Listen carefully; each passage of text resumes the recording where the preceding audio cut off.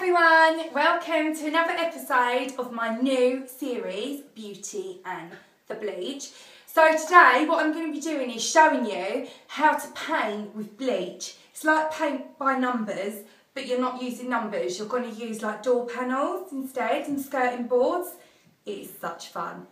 So what you need to do is get yourself some bleachy water, only use a tiny bit of bleach in it. If you don't like using bleach, you don't have to, you can use washing up liquid instead. And you need to get yourself a paintbrush and a microfiber cloth. Now, what we're going to do is we're going to start by find your area that you want to do and you're just going to apply a layer.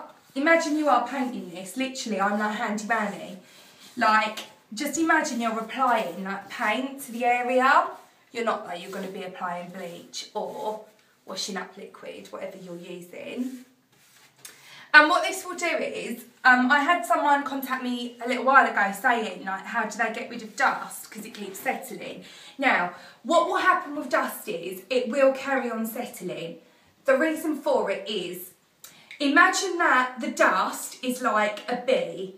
Well, basically, the queen bee will send the worker bees off to work, and the worker bees will annoy you. They will annoy you to the point that you have a nosebleed and they will land all over your things. Well, that's the dust. Now, the dust is going to settle all over your house and the only way you can get rid of it is by vacuuming it up is an option or you need to use some sort of liquid. I use bleach and water because I feel like the bleach kills the bacteria as well.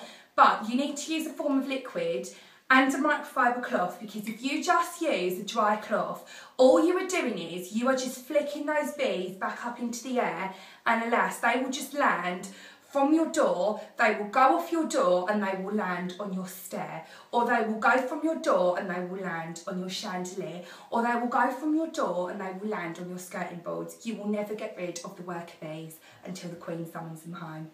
And she's not going to do that, so you need to just make sure that you wipe them off it needs to be a liquid to remove the dust because otherwise it does resettle. Oh, I have no time for a feather duster, just putting it out there. So another thing you might not know that bleach is really good for is it's actually really good on glass and it can make glass nice and shiny. So once you put the bleach onto your area, if you've got glass panels like this, like I've got in my doors, what you can do is you can just buff them off with the microfiber cloth and it will um, polish off the glass really nicely without having to actually get any other product on there. So you're literally killing two birds or two bees with one stone or one microfiber cloth and one paintbrush. Um, it's also really good for bleach, stops some um, condensation, so it's really good to use it in the bathroom. So on like your shower screen, if you've got one, or a mirror in your bathroom, that's, that's really good because it just takes away any of the condensation. So that is it.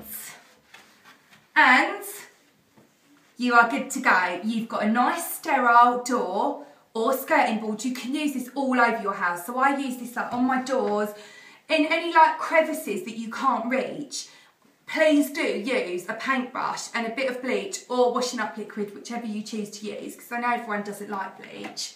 We can't be friends if that's you. I'm just kidding. Um, so yeah, do give it a go and let me know what you think.